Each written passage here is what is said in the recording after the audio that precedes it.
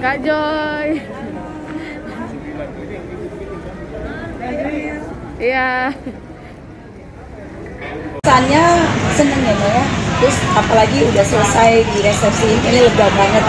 Jadi udah bisa pulang bernafas dan kita sangat bersyukur semua rangkaian acara pernikahan kami dari mulai pendekatan, lalu pesta adat dan malam ini resepsi jalan dengan baik. Puji Tuhan buat semua yang hadir, apalagi teman-teman media juga hadir. Terima kasih banyak yang sudah mendukung acara pernikahan ini. Nah, dua hari lalu kami sudah melaksanakan pesta adat Batak. Jadi ya ini memang sih sebetulnya pakaiannya aja ya, karena eh, kemarin sudah dengan pakaian adat Batak, saat ini menggunakan pakaian eh, sanggul eh, Jawa Solo Putri.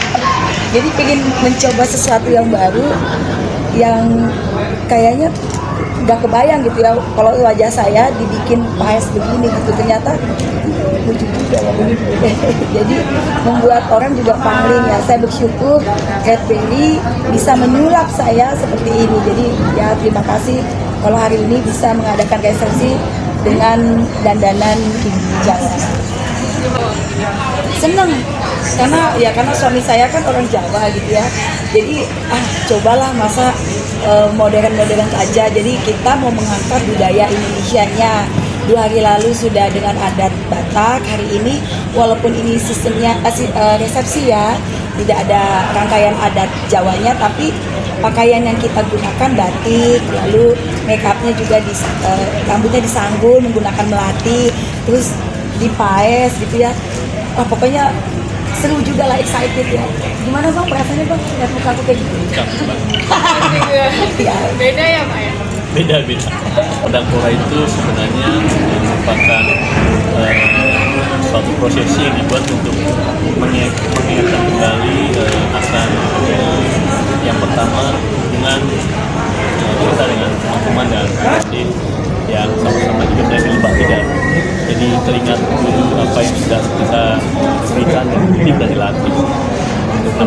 Akhir ada lagi tim Taruna mengingatkan kita lagi, kami lagi teringat kembali bahwa hujan kita adalah pengabdian kepada dan negara. Dalam rangkaian pernikahan ini, eh, acara prosesi Pedangpora ini dibuat eh, ada beberapa simbol-simbol yang digunakan seperti berjalan ada pedangnya itu seperti ya manusia itu mengikat ada larangan-larangan dan ada tangan dan ada mungkin ada payung tadi itu melambangkan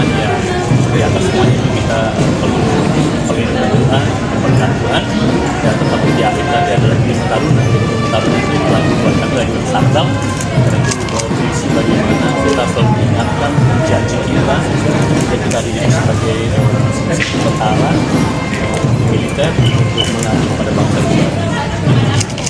kan kalau sampai merinding. Aku sampai berdoa supaya semua rangkaian acara pedang pura itu berjalan baik. Karena yang JR kan cuma Bang Cahyo kalau Bang Cahyo bilang mah udah gampang ikutin aja langkah kakiku.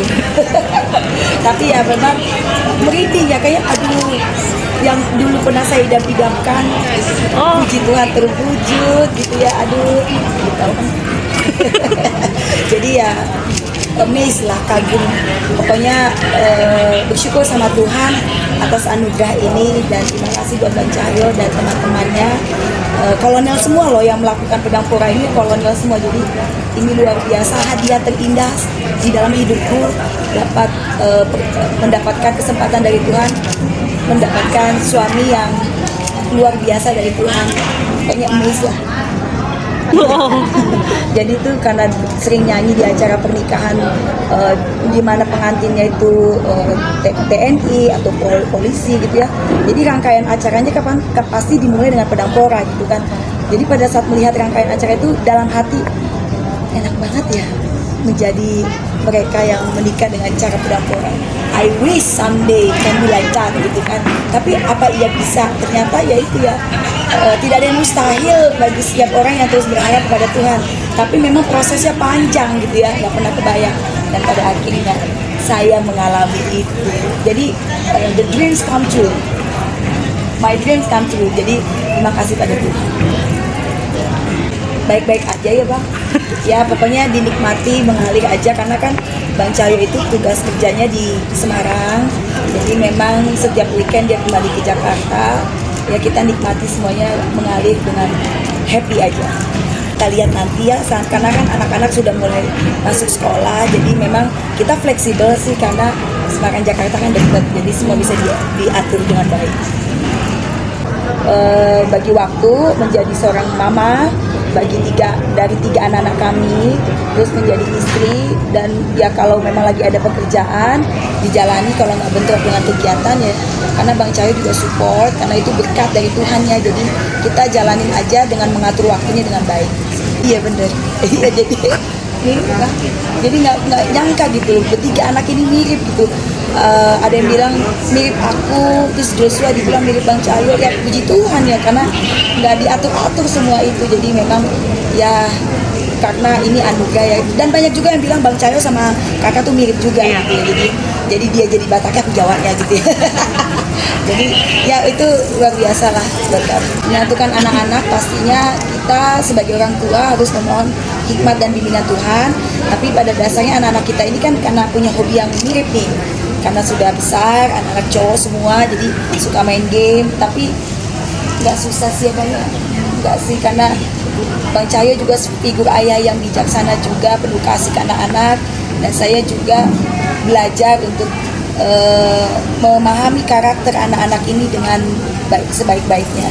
Jadi dinikmati aja jangan jadi beban. Bahkan kalau memang eh, ada hal-hal yang saya kurang paham ya memang Bang Cahyo melengkapi lah untuk bisa membimbing anak-anak kami Cukup ya. cuma satu semua karena cinta Oke, terima kasih karena ya. cinta Tuhan. Terima kasih teman-teman media. Sehat selalu buat kita semua dan untuk pemirsa di rumah. Terima kasih dan mohon doanya dan senantiasa Tuhan beserta kita. Terima kasih.